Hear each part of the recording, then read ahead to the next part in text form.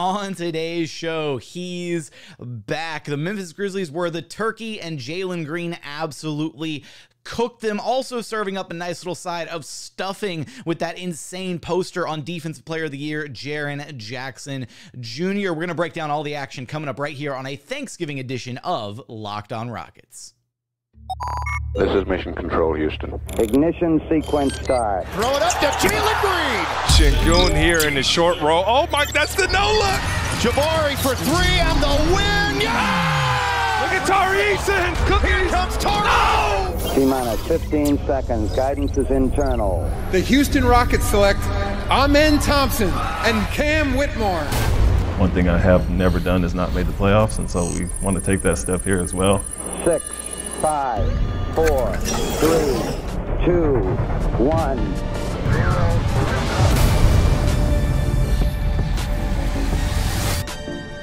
What's up, and welcome to another edition of Locked On Rockets, your daily podcast home for everything Houston Rockets basketball. As always, I'm your host, Jackson Gatlin, native Houstonian and credentialed media member. I'm also the host of Locked On NBA Mondays. Be sure to follow along on Twitter at JT Gatlin, and the show, of course, at Locked On Rockets, free and available wherever you listen to your podcast, including YouTube. Just search Locked On Rockets. Be sure to like, comment, subscribe all that good stuff. We got some fun. Th- we got a fun Thanksgiving topic to tackle on today's show. I want to know your starting five lineup for your Thanksgiving plate. I'll get to my Thanksgiving plate a little bit later on, but as always, thank you so much for making the show part of your day every single day, whether it's on your way to work, on your lunch break, in the gym, at your Thanksgiving table. Uh, appreciate you for making the show part of your day every single day. Thank you for being an everydayer. Houston Rockets get a Turkey Day dub 111. Well, not quite Turkey Day because we don't get we don't get Turkey Day and Turkey Day action in the NBA. 111-91 win against the Memphis Grizzlies, and what a game for Jalen Green to what a way for Jalen Green to respond after being benched in the fourth quarter against the Golden State Warriors. This game was one hell of a response from Jalen. Got a lead with him. He is your Locked On Rockets player of the game in this one because he ignited this team. Eh, we're going to get into a little bit of the game flow and whatnot, but this game was 72 Oh, hang on. After the after the technical, I apologize. 72-67 near the end of the third quarter. Before Jalen Green hit that insane poster, just absolutely dunking all over Jaren Jackson Jr. And that ignited the Rockets to go on this massive run to close this game out 111 to 91. And I, I want to rewind for a second though. And Jalen's night wasn't all you know, it wasn't all on fire. It wasn't all incredible. He actually really struggled in this game. He finished the game with 34 points on 13 of 26 shooting. It was 3 of 13 from downtown. That's part of the struggles right there. 5 of 5 from the charity stripe. He had two boards, four assists, a steal, and only one turnover. And it, it didn't it ended incredibly and it's fine that he, he like he talked about that dunk right his teammates talked about it it kind of woke them up it was jabari said it was a momentum shifting play and you look at jalen's game through those first three quarters i mean he was struggling those first three quarters he was 8 of 18 shooting he kind of started to come alive there a little bit in the third quarter really he was struggling in the first half and even after the game we talked about it and, and fred mentioned uh, that well, Ime mentioned that Fred had a little kind of you know pulled Jalen to the side and had like a little pep talk for him, basically somewhere. I think it was like in the second quarter. And when we tried to ask Fred about it, Fred kind of laughed it off and he was like, "Well, I can't." As you know, Fred has said before, he likes to cuss a lot when he's on the court. So I'm sure he he said it was a. Fred did say it was a one sided conversation. So Fred kind of chewing out Jalen Green a little bit, talking about his energy and even Jalen highlighted it and said, Yeah, I didn't have the right energy in the beginning of the game. And as the game went on, things got a lot better. And part of that was this approach. It, it felt, the process felt a lot better for Jalen in this game offensively. The shots that he was taking, the looks that he was getting, the looks that he was generating for his teammates. And a big part of that comes from Ime Udoka, who told us post game that on the flight back from San Francisco, he had a little, like a one on one film session with Jalen Green where he sat there with him on the plane and he walked him through the different areas where he was missing some opportunities, right? Where he was, you know, n- not capitalizing on certain reads, the ways that the the Warriors or the Lakers were guarding him, and looking over film about how the Grizzlies were probably going to guard him so that he would be better prepared for this matchup. And he highlighted the fact that even though Jalen you know, missed a lot of his threes, again, just three of 13 shooting, that those are the shots that they will live with. You know, miss them or make them, they are happy with the looks that Jalen was getting in this game. And Ime went on to say that eh, they're confident in Jalen's ability to shoot himself out of a slump so that if he does start a game kind of cold, that as long as he's taking the right shots, then he'll get himself going. And that's exactly what we saw, right? He struggled in the first half and then he really got himself going in that third quarter and then and then you know ended the quarter with an exclamation point with the insane poster over Jaren Jackson Jr., which when asked about it Jabari was laughing, man. He was like, he was like, you saw my reaction. I fell out of my. He was like, I fell because Jabari was in the background. He like legit just fell onto the floor. The entire Rockets bench stood up. Uh, they got a technical. Alperen Sengun walked away with the technical. Uh, it was it was an insane reaction from the Rockets, but it really did kind of catapult this team. It woke them up, right? Shot in the arm. We talk about this all the time, but there's there are momentum shifting plays, momentum changing moments over the course of a game, and it felt like that dunk kind of woke the Rockets up. They they'd been kind of slogging through this game. They couldn't really get anything going offensively. Jabari was their best offensive option up to that point. A little bit more on his game uh, coming up here in segment two, but you know that that dunk kind of just reinvigorated, ignited the whole team, and then they really took off in a big way there in the fourth quarter. So I love Jalen's response. I love that he came out with this aggressive mentality. I love that Ime is is working so closely with him because you've got to imagine that Ime sees all this talent that Jalen Green has and wants to help him unlock and be the best version of himself. The question is, can we get this version of Jalen consistently? We know the highs are insanely high. Once Jalen had it rolling in this game, he looked unguardable. Like he looked like the Grizzlies. The Grizzlies had zero answer for anything Jalen was doing. I mean, he was walking into shots with confidence. He was dicing up the defense. He was dri- cutting through a pick and roll, and then Jaren Jackson Jr. drops all the way back to the basket. So he's like, okay, well, I'll just pull up for you know from the mid range. It was so easy for Jalen, and the thing is, is it can always be that easy. He just has to play with the right mentality, the right mindset. And that's what Fred is there for. You know, Fred with his little pep talk, his little one-sided conversation, Ime with the the film breakdown, the one-on-one film session on the flight back. Jalen has all these support systems now to be the best version of himself. And I'm man, I, I if we can get this version of Jalen consistently, it doesn't even have to be this version of Jalen, just a slightly better version than the one that we got on the West Coast road trip. Uh, this Rockets team is going to go a very, very long way this season. Let me know your favorite moment from Jalen Green's 34 point outing, a new season high for Jalen Green this year. Didn't quite break his career high. We'll see if he has a you know a, a, 40 bomb somewhere in him later this season to break his career high. But coming up, want to get into Jabari Smith Jr.'s game as well as some additional thoughts from this one. I, have got a couple more points I want to make about Jalen and his performance in this game, especially on the defensive side of the ball. And we got to talk about the the struggles from Alperen Sengun and Dillon Brooks as well. It wasn't all sunshine and roses in this Turkey Day win against the Memphis Grizzlies. We're going to get there in just one moment.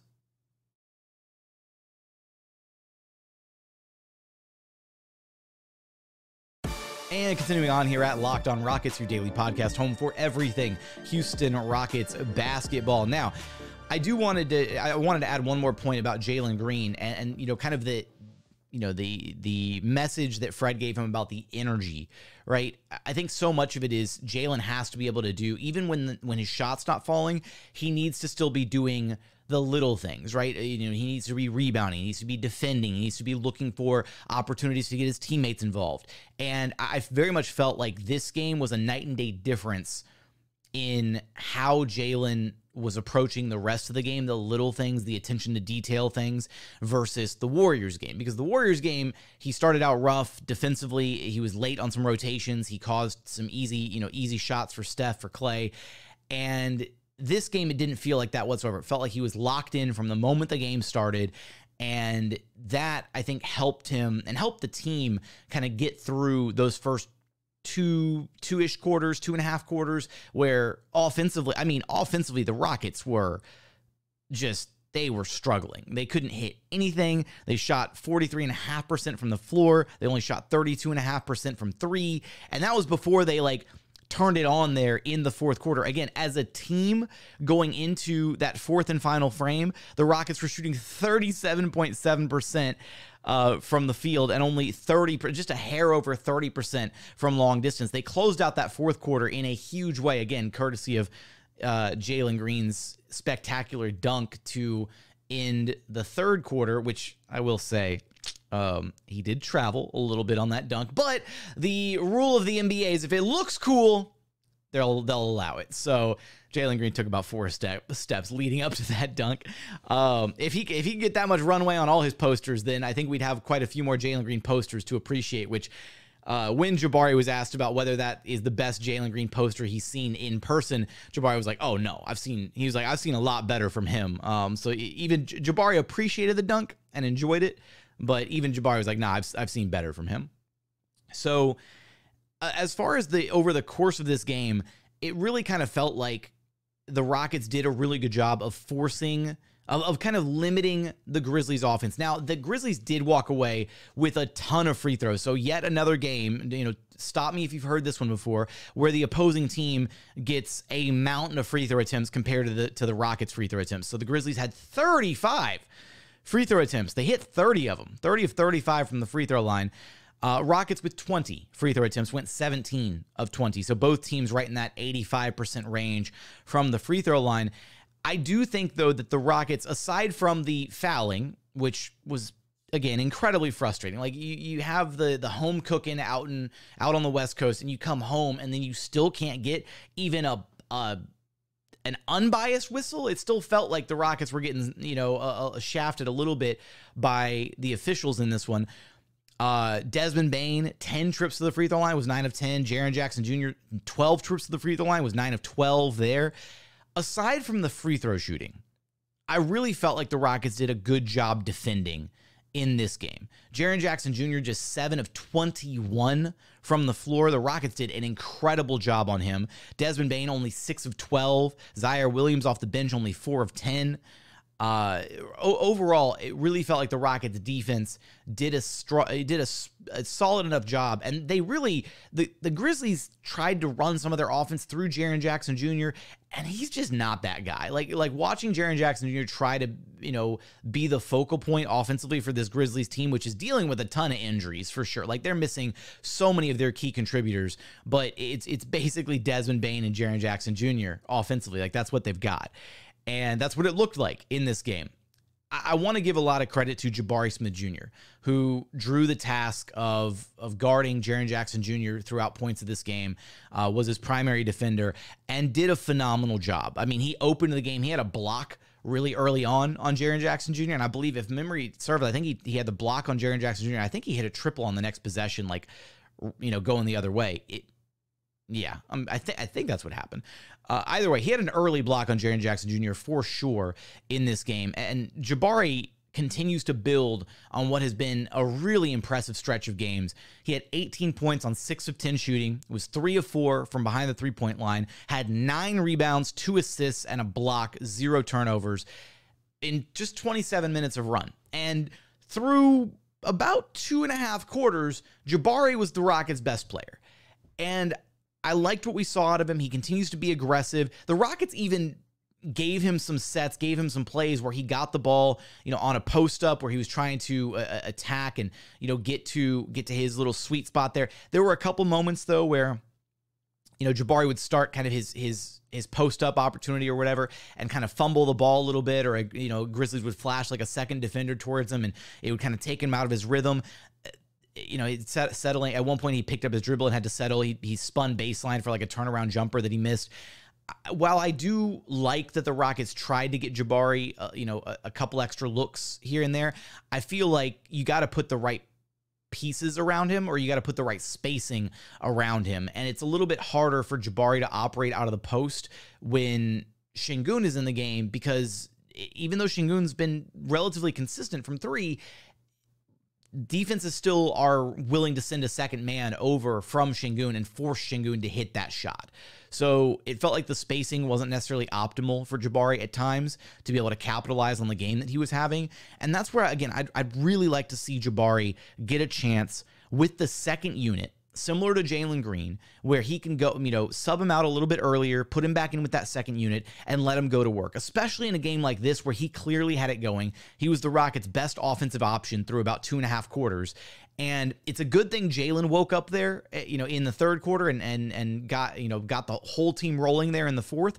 But you know, this this is one of those moments where you'd like to see the Rockets identify and lean a little bit further into Jabari when he does have it going, which he did in this game. And I do think for him, between the post up and being able to get to a post up and like turn around fadeaway versus like a face up opportunity from kind of the you know free throw free throw line extended area or at the elbow i like those elbow touches for him a little bit better because he's actually shown a, a, lot of improvement being able to put the ball on the floor and drive to the rim.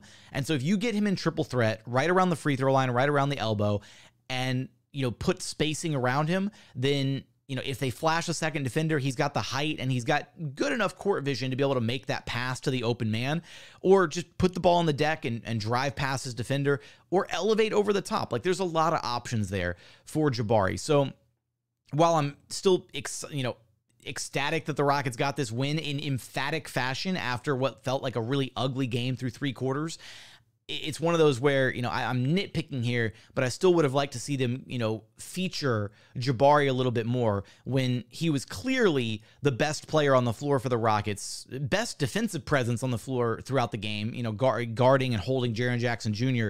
Uh, to some you know some really difficult attempts, but then also offensively, he was the one Rocket that was actually you know cooking until that fourth quarter. Because, unfortunately, in this one, Alperen Sengun and Dillon Brooks struggling in a big way for, for very different reasons, I think. And we're going to get to that in just one moment.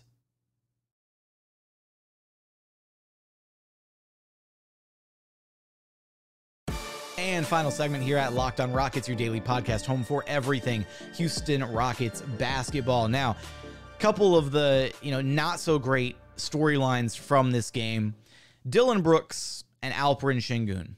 who, which I want to preface before highlighting this segment here, their struggles in this game. If any two players were allowed to have, let's say, an off night, right? Again, you know, for this team, it's definitely Alperen Sengun and Dillon Brooks because they, to this point this season, have been the two most consistent players for the Rockets. So it was bound to happen that one that they were both going to have an off game at some point. It just so happened to coincide with one another, and I think it happened for two very different reasons. So let's start with Alperen Sengun. First off, I, I don't think he's playing at 100%.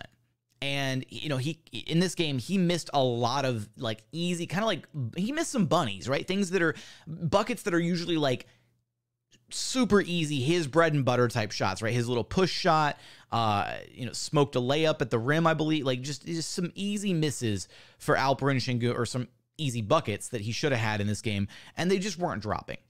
And I think part of it could be right that that little bit of back tightness that he's dealing with. And you know against the against the warriors it felt like it kind of loosened up maybe as the game went along. And i don't know if it was just different in this game. You know i don't know if it was a matchup thing where just you know Biyombo and and Jaren Jackson Jr. were making it a little bit difficult for him. But he kind of struggled in this game. Just 11 points on 4 of 9 shooting uh, seven boards. He did have three assists and he had three blocks. So I did I did like Alperen Sengun's defensive intensity in this game. He wasn't he wasn't letting his offensive struggles dictate how much of an effort he was giving defensively. And that's kind of one of those issues with young teams at times is sometimes you'll see young players they kind of hang their heads defensively when their offense isn't going we, we've definitely been there and seen that with with jalen with jabari they've all done it and and even alp in the past has done it where, where he's you know the team gets frustrated they're not you know things don't look good offensively. So then they're not putting in the requisite effort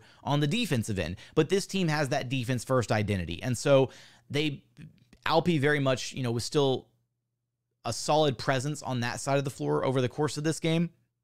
So he gets a night off. It's totally fine. The Rockets were able to step up, and, and Jalen was able to step up almost seemingly kind of by necessity, right? Like without Alp putting up the monster numbers that he's been putting up, Jalen kind of had to deliver. And so, in a way, in a weird way, I'm kind of glad that it worked out this way because we got a, a Jalen Green masterclass performance because Alp just didn't have it in this game. And sometimes that's going to be the case, right? There's going to be games where Jalen doesn't have it and Alp is carrying things. Or there's going to be games where neither of them have it and Jabari is carrying things, or Fred or Dillon.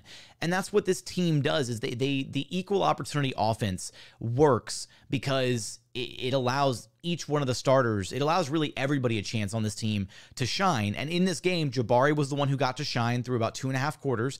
And then Jalen woke up in the third and was able to close things out. So it worked out beautifully. Uh, and then Dillon Brooks.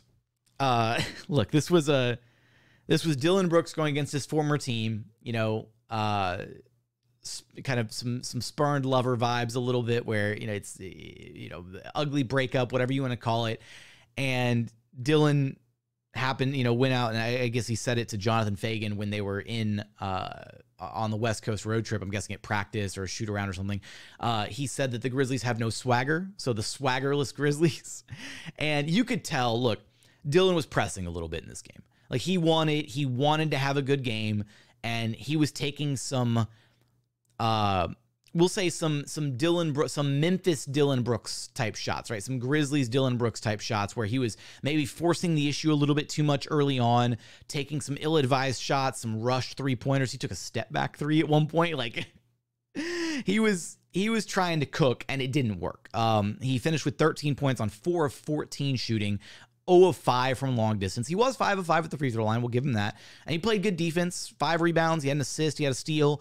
So it wasn't necessarily like a you know an awful game for Dillon, but it was it was this was the the version of Dillon Brooks that you're like, okay, if, if you're getting this version of Dillon Brooks offensively every night, then you're gonna have some issues. Uh, he definitely didn't like kind of stay in his lane or just take what the defense was giving him, which is what we've largely seen from Dillon Brooks through this early part of the Rockets season, is he's been a very complimentary piece offensively for this team. I do also want to say that I think at certain points in this one, especially with the offensive woes and the way that it felt like really nobody but Jabari had it going for about two and a half, three quarters, uh, offensively at least. There were some moments where Dillon like was trying to get himself going. I think very much early on it was about like, hey, it's the Grizzlies. You know, I want to I want to score on the Grizzlies, right? I want to score on my former team. I want to show them up, that kind of thing. And then as the game went on, it was less about that and like he, he kind of settled into things but then it was more just like okay well somebody needs to score and i guess it's gonna be me and and it just didn't work, it just wasn't Dillon's night unfortunately um, sometimes you have them sometimes you don't bad shooting night for him bad shooting night for re- realistically the entire team actually fred was four of eight from three and jabari was three of four from three and Tari was two of three, but then everybody else, I mean, just misses all up and down the lineup. Jae'Sean Tate, 0 of 3, Jalen 3 of 13.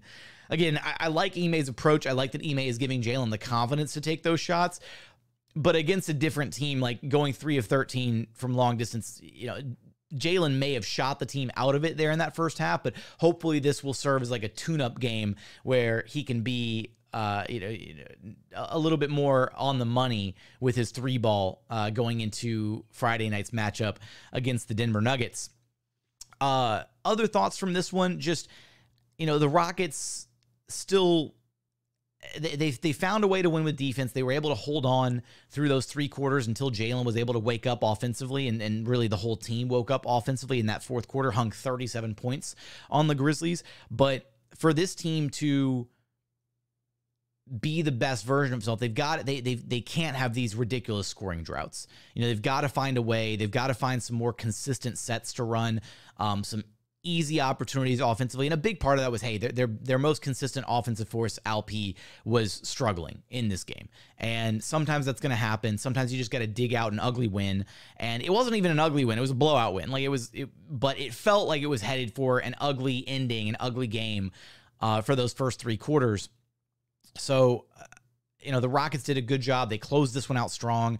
And this has been, you know, they, they've closed out some games, but this is this was a nice little change of pace where rather than like a, a slog it out, you know, fist fight all the way to the end where they like eke out a win, they turned it on in that fourth quarter and were able to escape with a big W instead of just like, you know, by the skin of their teeth kind of thing. So I like that from them. And this kind of uh, this ability to beat, you know, the teams that they're supposed to beat, which the Grizzlies, as decimated by injuries as they are, this was a team you should have beaten. Right, the Rockets were were favored in this game, and they won, and they should have won. So they they took care of business. The good teams in the NBA take care of business against the bad teams, and then if you go you know 500 you know 50-50 against the good teams then that puts you on pace for like a you know 60% win rate so as long as you're out there taking care of business against the bad teams and you're putting up a good faith effort and a good fight against the good teams and you split about half those games, you know, down the middle, then this Rockets team is going to be a lock for the playoffs. And so far, it pretty it kind of feels like they've done that, right? They drop, you know, they they dropped those first few early ones, right? The 0 and 3 start. The West Coast road trip was a little rough, but they're back on top of it now. They're seven and six. They've got another home game against the Nuggets before they hit the road for another three game road trip. So this Rockets team is, I think, a little bit ahead of schedule compared to where I would have thought they would have been at this point in the season. I would have thought there was going to be more growing pains so far along, and they look like a good team, right? They've still got some things that they got iron out. Jalen needs to be more consistent, but hopefully this game is an eye-opening experience for him. And again, he's going to continue to work with Ime Udoka, and bet- you know between Ime helping Jalen and Fred helping Jalen and you know having guys to play off of like Alperen Sengun and and you know having his support network around him, I feel like Jalen can be the guy. Like I feel like he can, he's going to get this thing figured out. You know, I wasn't worried. Like part of where my frustration came from in our last episode highlighting Jalen's struggles was because I feel like he can be so good. And like I want him to be so good. I want him to be so good, so bad. Like you don't even know. Because he look, he's the crown. I don't want to say he's the crown jewel of the Rockets rebuild, but he's the, he's the first pick of the rebuild. You know, he was the first young piece that you you know we like latched onto and and and have held on to, right? So I want him to be so good, so bad for so many reasons. And th- this game was kind of that that glimpse of like, man, this this is what Jalen could be. He's so close to putting it all together. He's just got to make it a little bit more consistent. So excited to be able to talk about a Turkey Day dub for your Houston Rockets. Um, again, just clobbering the Grizzlies there in that in that fourth quarter. Uh, to wrap things up here, gonna get a little. We'll we'll get a little, you know, some Thanksgiving festivities here. I want to know. So obviously, give me your thoughts on the game. Let me know how you felt about Jalen's performance. You know, the shots that he was taking, the approach from Ime, and you know Fred's little pep talk. Give me your thoughts on all that. But for our Thanksgiving edition LOR, I do want to know how would you build your your starting five Thanksgiving plate? So you get to pick five Thanksgiving food items. Can be sides, can be main mains, whatever you want. But you get to pick five items to make up your Thanksgiving plate, your starting five. What would be in your starting five on your Thanksgiving plate? Mine, I'm going with turkey, sweet potatoes, dressing, mac and cheese, and green bean casserole. That's my that's my five. Also, I'm going to clarify: turkey does not count as a thing. Turkey is just extra. That's a that's a topping. So the, like you're, you're not you're not getting like some some dry turkey or something if you don't claim gravy as one of your starting five. So Give me your starting five Thanksgiving plate. Give me your thoughts from this Rockets win against the Memphis Grizzlies. But for today's episode, that is going to do it. As always, thank you so much for checking out the show. If you haven't done so yet, please consider subscribing wherever you listen to your podcasts or on YouTube. Just search Locked on Rockets, like, comment, subscribe, all that good stuff. But as always, Thank you so much for watching. Thank you so much for listening. And I hope you have a wonderful Thanksgiving with you and yours. And we look forward to having you back right here at Locked on Rockets, your daily podcast home for everything Houston Rockets basketball.